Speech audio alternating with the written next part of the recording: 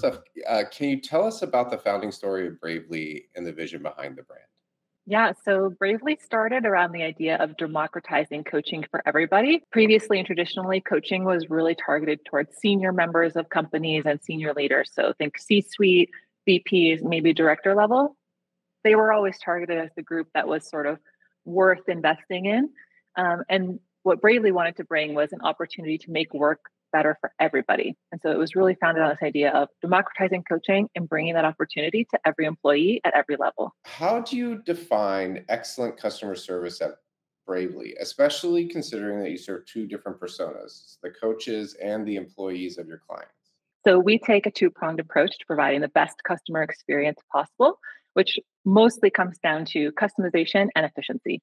So, on customization, different customers have different needs. And so a good customer service experience means tailoring that service to the individual customer. And so at Bravely, that means understanding the different needs of our coaches and that audience, who, of course, are pivotal and critical. Lastly, it's efficiency. Um, nobody wants to spend a lot of time on hold or navigating through complicated menus when they're trying to reach this service. So, a good customer service experience means providing efficient and easy to use service. All right, so now we'll move on to the selfish questions about outsourcing. Uh, so, uh, so, role of outsourcing in CX. So, how does outsourcing fit into your overall CX and operational strategy? So, outsourcing is an integral part of our CX and operational strategy. So, in this case, being able to provide excellent service to our end users and to our coaches meant that we needed to find a really trusted partner who would understand what our mission was and be able to fit that um, goal for us.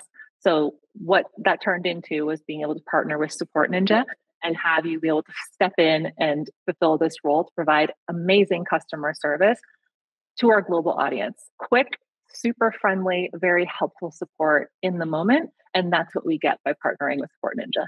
So this one's kind of near and dear to my heart because it's something I talk to folks about all the time is, you know, what aspects of your customer experience operations have you chosen to outsource and why did you choose those? So we have coaches all around the world we also have employees all around the world, whereas Bravely HQ is based out of the US. So, in order to provide excellent service, timely turnaround, let's say that someone is on a session and they're having trouble logging in, but this is somebody that's based in Europe.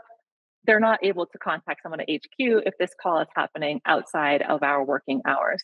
So, we had to be able to find a trusted partner who could provide 24 7 support who we knew would be able to meet the expectations, that level of excellence and white glove service that we provide our clients during our working hours when we weren't online. And so that's what we were able to find with Support Ninja. And our team provides excellent service. And we always get rave reviews from everybody who interacts with them, whether it's our HQ team, whether it's our coaches or our employees. It's pretty much five stars across the board.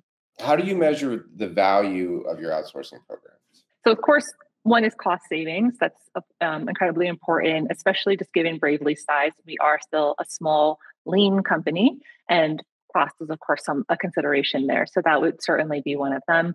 Customer satisfaction and quality extremely important. So being able to monitor our customer satisfaction scores and use them as a benchmark for success and maintaining a high score is extremely important for us.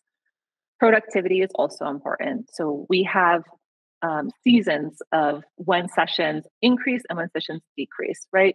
During the summer months, folks take a lot of vacation, so sessions may go down. We still want to have excellent customer service and quick turnaround, even if it's slow season. And then, equally, when we're at a high season, typically that's the end of the year in Q4, a lot of people turn to coaching to help them through review season. So we see a big uptick in tickets and support needed. So, equally in those times, we also need a team that can have really quick turnaround, provide excellent service, even if it's under pressure with a whole line of tickets waiting for them.